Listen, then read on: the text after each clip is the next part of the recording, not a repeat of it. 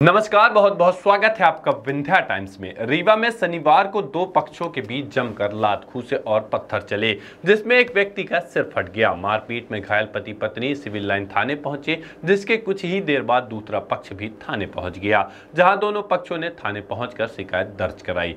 घटना में लहूलुहान हुए व्यक्ति ने बताया कि पूरा विवाद भंडारे में पूरी मांगने को लेकर हुआ था।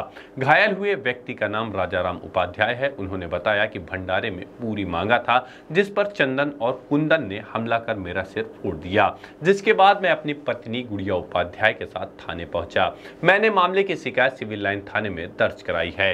घटना में मेरे सिर पर काफ़ी चोट आई है, जिसकी वजह से काफ़ी खून भी बह गया है। पुलिस के मुताबिक थाने में दोनों पक्ष शिकायत लेकर पहुँचे थे। दोनों की तरफ़ से शिकायत आवेदन पत्र प्राप्त हुए हैं, जहाँ अब पूरे मामले की जाँच की जा रही है।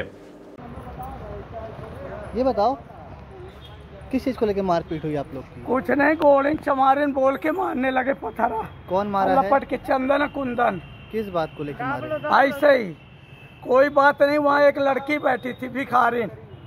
वहाँ पे आया क्यों नहीं क्यों ऐसे ही मारने के लगे? साथ भी मारपीट करी है।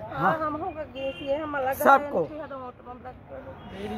क्या नाम है वो? वो लात मार मार के गूटा मार मार के पत्थर वहाँ पे पड़ा था मंदिर पे। के लिए मारे हैं? वहाँ एक लड़की थी उससे बोले कि तय खावा पूरी और वह हलवा सब्ज़ी। छोटी जात है। हम वहाँ मंदिर तरफ़ बैठे थे फिर गोड़ी चमारिन बोल के मारने लगे। कितने लोग थे मारने के लिए? वो दोनों भाई आ गए थे। चंद पहले कुंदन मार रहा था फिर चंदन भी आके पकड़ के धोखा मारे। दोनों जुड़वा और दोनों जुड़वा है। आपका क्या नाम है? हमारा राजा राम उपाध्याय। ये घटना कहाँ पास हुई है? मंदिर शंकर जी के मंदिर में।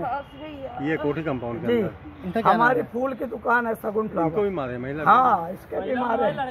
लड़का का भी भी? इनका मारे। क्या नाम है? गुड़िया उपाध्याय। हमारी औरत है। भंडारा करवा रहे थे। नहीं हम वहाँ बैठे थे कि लाइट चली गई तो बैठे थे बाहर वहाँ वो दो तीन बार आके सोनी को भी मारा है। वहीं पे भिखारी एक सोनी है। वहाँ क्या करते हैं आप? वो हम फूल की दुकान करते हैं।